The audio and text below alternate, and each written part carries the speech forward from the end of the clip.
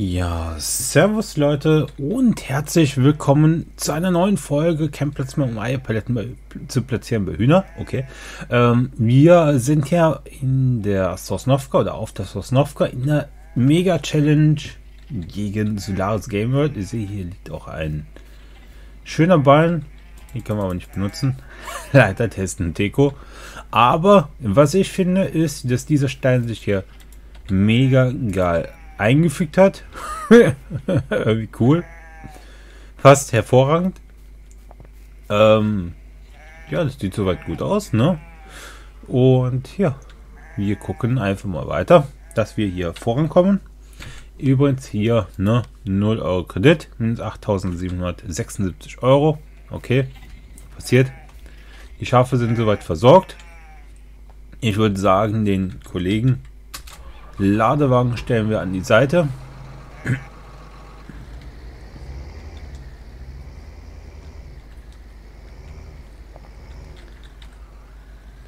Den stellen wir mal hier an die Seite, ne?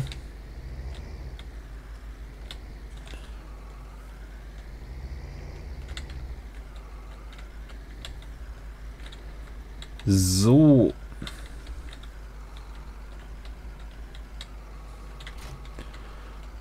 Nee, nicht das Frontmehl weg. Die Ladewagen. Danke sehr.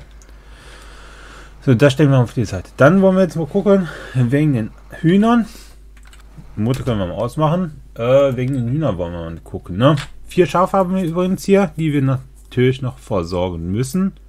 Sauberkeit müssen wir noch machen, das ist klar. Bedeutet, wir gehen eben mal hin, machen die Mutter doch mal wieder an. Fahren einmal zum Hof, hier vorne. Und werden wir den Frontlader nutzen. Wird, glaube ich, interessant werden. Da wir die Hühner immer sauber machen müssen. Und das wird, denke ich mal, interessant werden. So.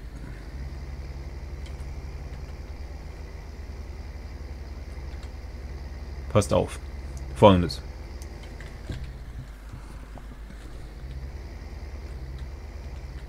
Wir gehen hin.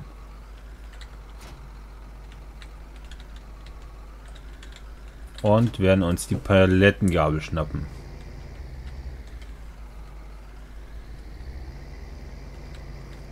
Und werden mal hier gucken.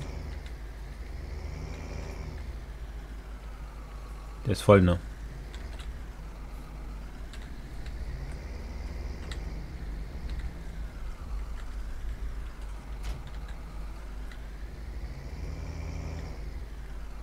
Kommt schon eine Eierkarton geflogen. kommt schon eine Eierkarton geflogen. So, pass auf. Passt auf. Ähm, folgendes. Ähm, legen die Palettengabel mal eben schnell ab. Werden wir eben die Schaufel nehmen. Und dann mal eben sauber machen. Bei den Hühnern hier unten am Hof, sowie auch bei dem anderen Hühnerstall. Werden wir beide mal eben schnell sauber machen.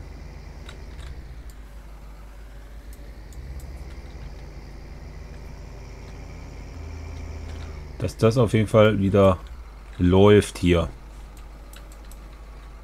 Einfach die Hühner zu vernachlässigen. Ich glaube sehr wohl. Gibt's doch nicht.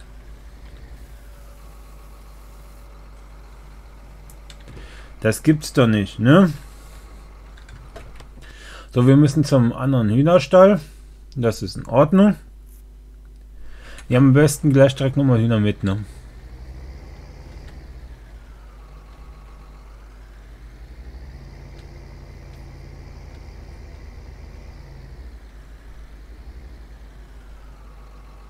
Wo ist der Tiertransporter? Der ist bei den Schafen, ne? Äh, ja. Ja, da ist er. Den brauchen wir einmal.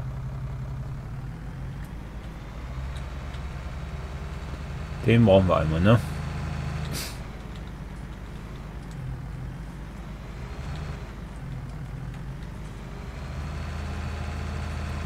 So, dann wollen wir nämlich direkt mal nochmal Hühner mitnehmen. Der Hühnerstall hier unten ist am Hof ist nämlich voll.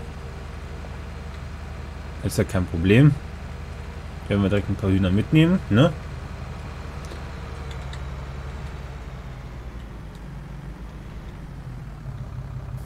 So. Huhn weiß. Werden wir direkt mal welche mitnehmen. So.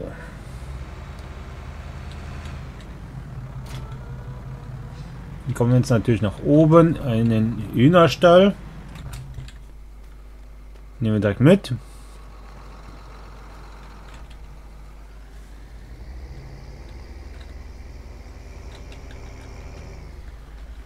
So. Einmal ankuppeln. Dann fahren wir mal hoch.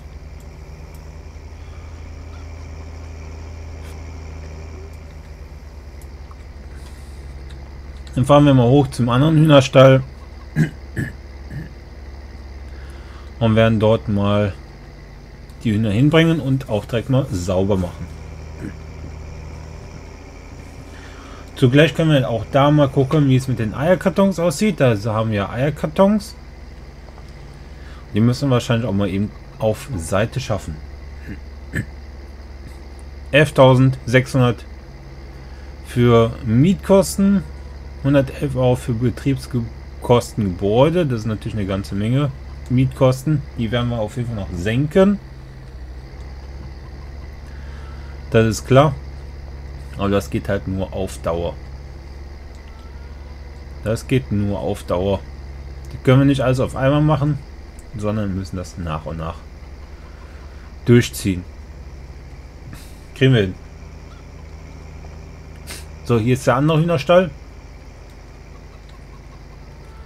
Da liefern wir jetzt natürlich die Hühner einmal ab.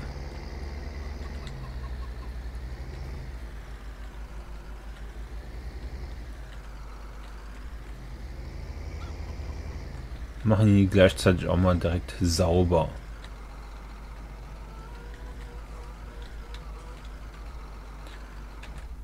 So, einmal Hühner abliefern.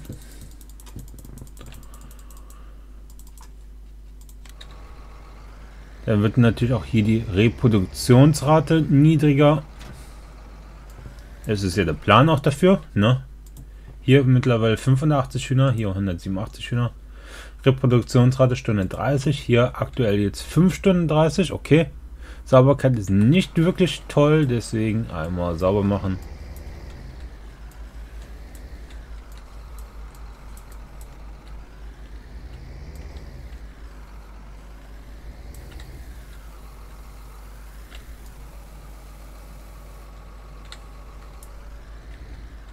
Dann passt das.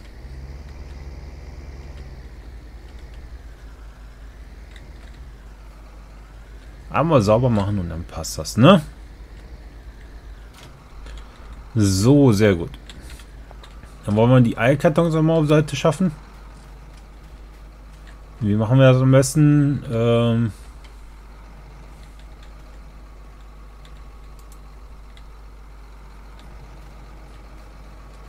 Packen wir die mal hier hin.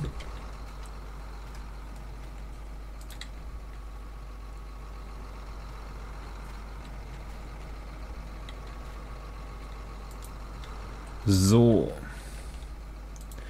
Was ich mir vorgestellt hatte, war ein kleiner Anhänger mit Autoload oder sowas, wo wir die Eilkartons damit aufnehmen können. So, so, so ein Autoanhänger oder sowas. Das wäre eine Variante, ne?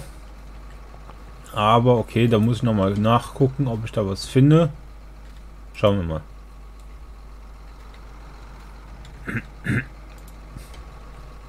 Und jetzt erstmal hier so die Eier hier wegpacken. Machen wir mal alles weg hier, ne? War auch ein angefangener Karton, glaube ich, dabei gewesen, aber egal. Ja. Gibt Rührei. Gibt Rührei hier, ne? So. Ja, 87 Hühner. Mit 85 Hühner haben wir jetzt mittlerweile Reproduktionsrate von 5 Stunden 30 auf 4 Stunden 45 gesenkt. Das ist in Ordnung. Die nächsten Eier liegen schon wieder da. 3 Liter. Okay. Gut, dann können wir einmal zurückfahren.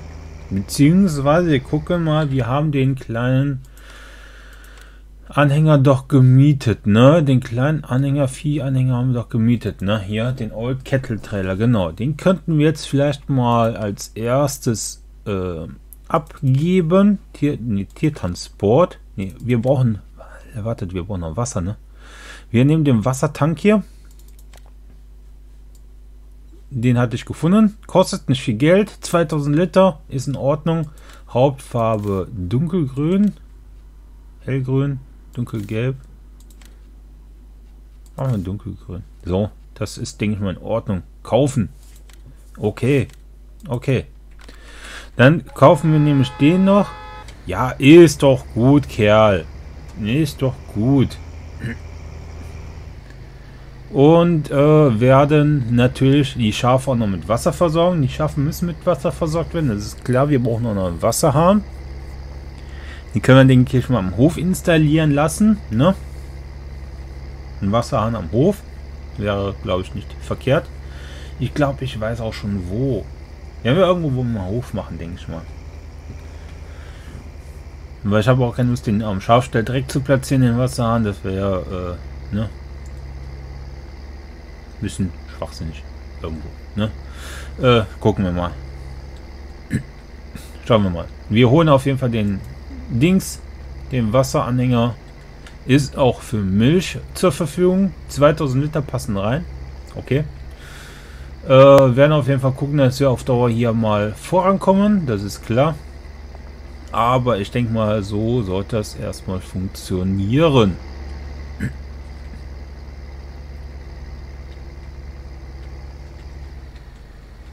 So sollte das erstmal funktionieren, ne? So, einmal ausmachen, einmal umsteigen. Steigen wir mal in den Deutz und werden mal den Wasseranhänger holen. Holen wir mal eben den Wasseranhänger. Ich kann mal kurz was trinken. Das ist eine gerade Strecke, relativ gerade.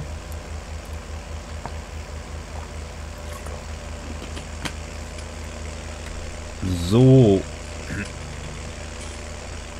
Sehr gut. Also haben wir jetzt auch einen Wasseranhänger. Wassermilchanhänger. Sollte erstmal passen. Viel Füllvolumen brauchen wir aktuell noch nicht. Von daher wird das, denke ich mal, auch erstmal reichen. 2000 Liter ist, denke ich mal, erstmal in Ordnung. Wir werden auf Dauer natürlich noch mal besser werden, das ist klar. Aber das werden wir dann sehen.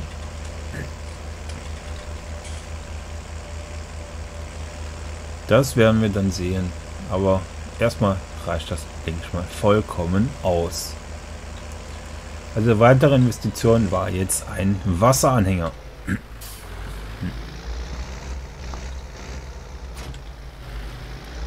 Haben wir uns geschnappt. Ab zum Hof. Da werden wir Wasser installieren.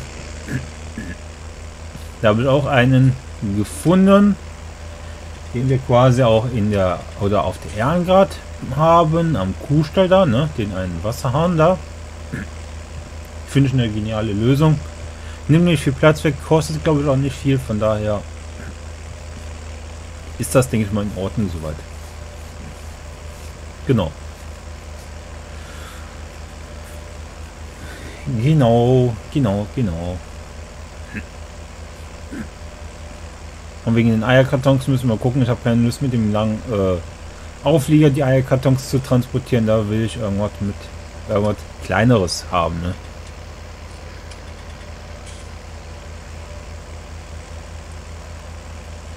Sollte auch funktionieren.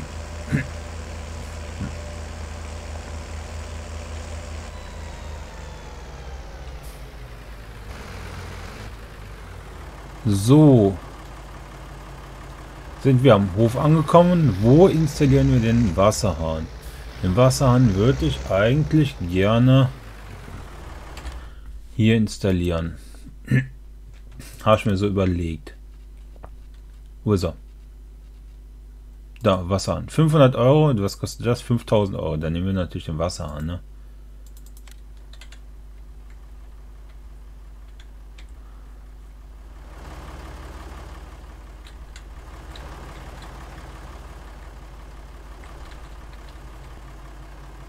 Dann nehmen wir den Wasserhahn hier, ne? Kostet 500 Euro, ist in Ordnung. Fahren wir mal rückwärts ran.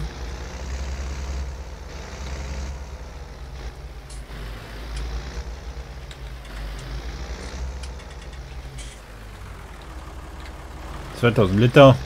Passt doch. Dann wollen wir die Schafe mal tränken. ja, also die Tränke füllen. Nicht die Schafe ertränken, ne? Und wir müssen auf jeden Fall mal Unkraut spritzen. Unkrautvernichtungsmittel bzw. Pflanzenschutzmittel müssen wir mal spritzen, ne?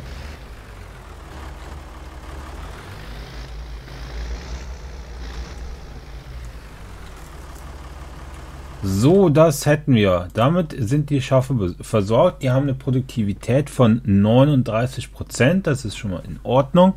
Wir bräuchten jetzt natürlich noch Heu, Zuckerrüben, Karotten und äh, Grassilage, Kleesilage. Alter Schwede. Okay, da brauchen wir noch eine ganze Menge. Wir werden mal gucken, wie wir das alles machen können. Also Wasser sind sie erstmal versorgt. Gras, Klee, Frischmais. Ja, Gras haben sie. Und jetzt brauchen sie noch Heu, um die Produktivität nochmal zu steigern. Grassilage und alles. Ja. Das ist natürlich so eine Sache, ne? Nein, kribbeln. Kribbeln.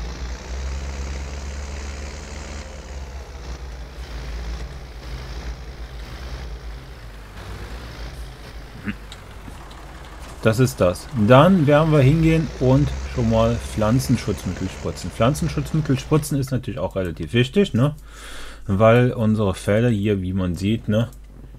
Die sind hier. Oha. Oha. Ne? Also Oha. Das sind unsere Felder. Gut, gucken wir mal nach dem Spritzmittel. Ist hier vorne. Irgendwo hier zwischendrin. Den brauchen wir.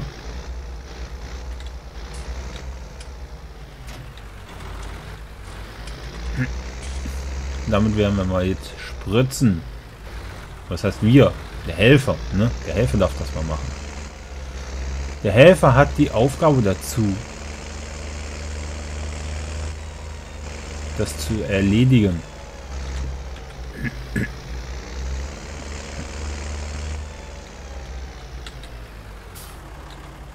So, dann müssen wir einen LKW mal auf Seite setzen. Da sind Hackschnitze drin, den können wir noch verkaufen.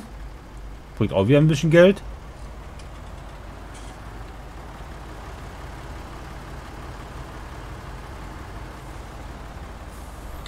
Haben die Mission schon abgeschlossen? Abgeschlossen. Ja. Dann machen wir das doch mal. So, dann haben wir die nämlich abgeschlossen. Okay, sehr gut. So, mal rüber in den Traktor wieder. Ja, die ist ja gut. Lass mich durch.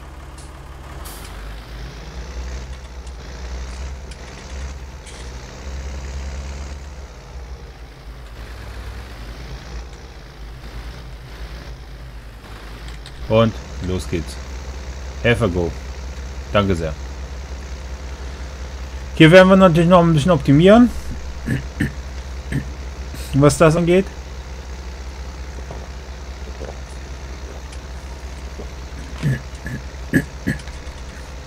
Aber das machen wir wie gesagt nach und nach. Wir werden jetzt erstmal gucken, dass wir die Eier verkauft kriegen. Wo können wir die verkaufen? Die können wir verkaufen. Wartet, wartet, wartet. Wo sind Eier? Eier, Eier. Ich will Eier. Also Eier verkaufen. 3300 Supermarkt. Wo ist der Supermarkt? Der Supermarkt ist hier oben nicht, sondern der Supermarkt ist hier irgendwo anders, ne? Holzlager, Spinnerei, Transportfirma, Gemüselager, Supermarkt. Da hinten, da hinten in der hintersten Ecke. Oha. Okay, gut. Darum wollen wir natürlich da mal hinfahren. Wir brauchen dafür nicht die Schaufel, sondern wahrscheinlich die Palettengabel. Die werden wir uns jetzt natürlich schnappen. Und dann werden wir mal Eier verkaufen, Leute. Eier, Eier, Eier, Eier. Ähm, zack.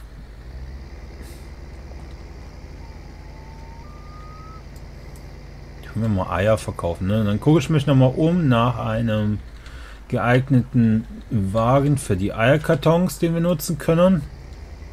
Ich habe da schon, wie gesagt, so eine Vorstellung, aber ob es was wird, äh, ist wieder eine andere Sache, ne? Schauen wir mal. Schauen wir einfach mal, was, was wir machen können, was wir machen dürfen alles. Schon Objekt blockiert.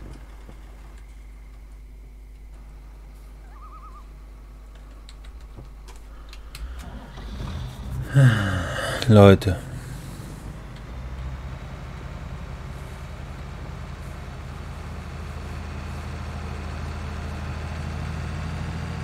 Der registriert wahrscheinlich nicht, dass da was steht und will natürlich weiterfahren. Und dann stellt er fest, oh, da steht doch was. Das ist hier der Nachteil beim Helfer.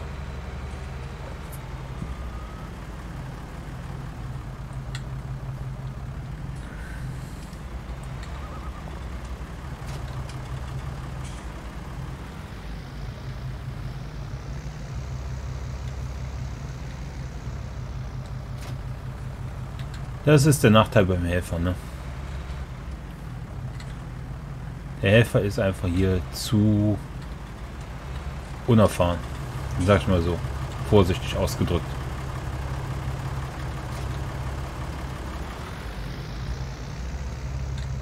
Wofür, wofür spritzt er hier? Ist der eigentlich... Ihr sagt nichts. Leute, ich glaube, wir machen das am besten mal selber, ne? Später.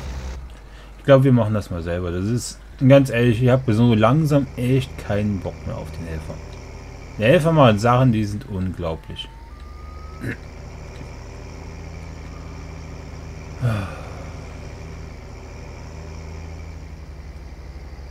Ich weiß nicht mal weiter mit dem Helfer. Ganz ehrlich. Ich weiß nicht mehr weiter mit dem Helfer. Die Helfer machen Sachen ohne Ende. Die glaubt man nicht mehr. Ähm, gut. Gut, gut. Also, da gucken wir uns mal um, ob wir da was finden für die Eierkartons. Irgendwas, ne? Aber kleines. Muss jetzt nichts Großartiges sein, sondern irgendwas Kleines, ne? Das wäre natürlich optimal. Schauen wir mal.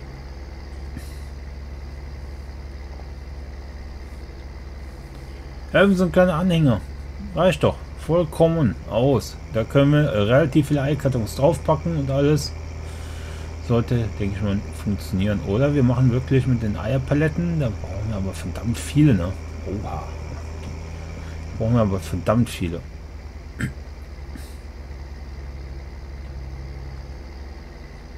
Wäre auch bauen eine Möglichkeit, ne? Gucken wir mal jetzt beim Supermarkt, wie wir die abgeben müssen. Wir sind ja fast da. Am Supermarkt. Schauen wir mal. Supermarkt ist da vorne irgendwo. Hat die Arbeit erfolgreich beendet. Ja, sehr schön. Kauft den Keks dafür. Äh, ja, hier ist der Supermarkt, ne? Ja, und wir müssen die Dinger da oben hinstellen, ne?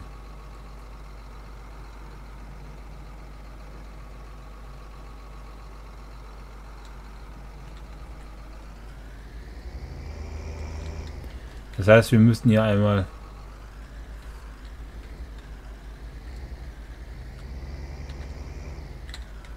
ein bisschen ackern was das betrifft, ne?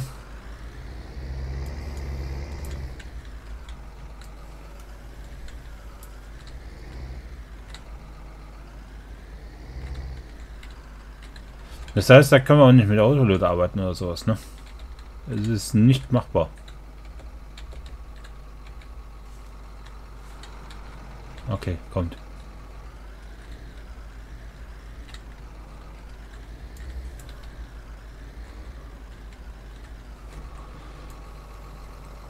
So, dann wollen wir die mal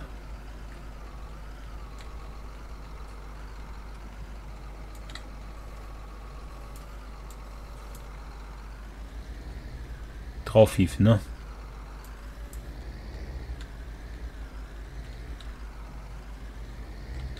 Dauert jetzt natürlich etwas länger als geplant, aber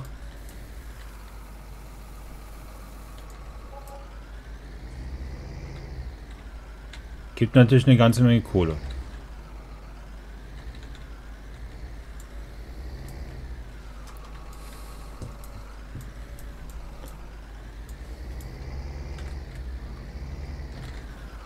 Ja, ist ein bisschen doof hier mit der Kurverei für die Eierkartons, aber die Eierpaletten jetzt in dem Sinne.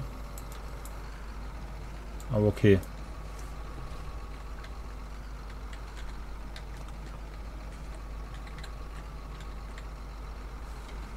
Müssen wir gucken, dass wir da besser werden.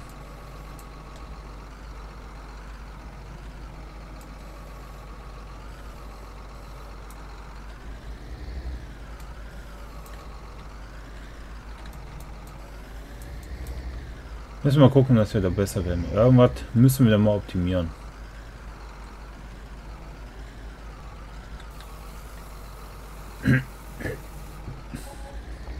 Nochmal knapp 8000 Euro für Eier. Das ist in Ordnung.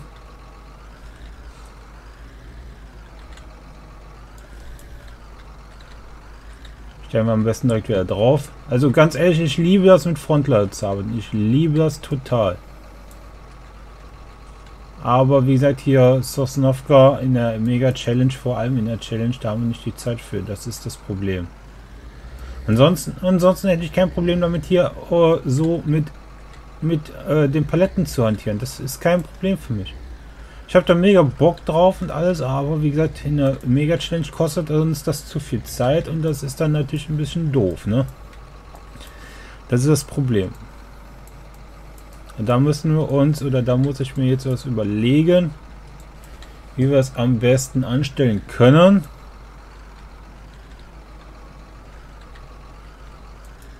Ohne dass wir, sag ich mal, zu viel Zeit verlieren. Ansonsten hätte ich mega Bock darauf, Leute. Mega Bock.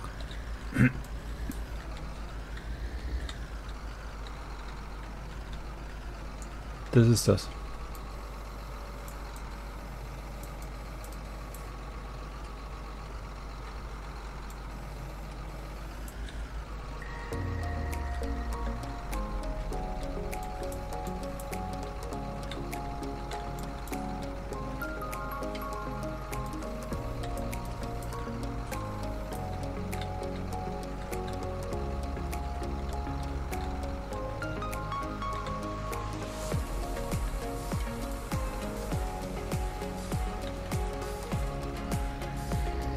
So, schneiden wir die fest.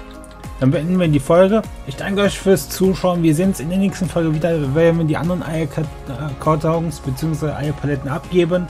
In dem Sinne, danke euch fürs Zuschauen. Wir sehen uns. Bis dahin. Servus und Tschüss.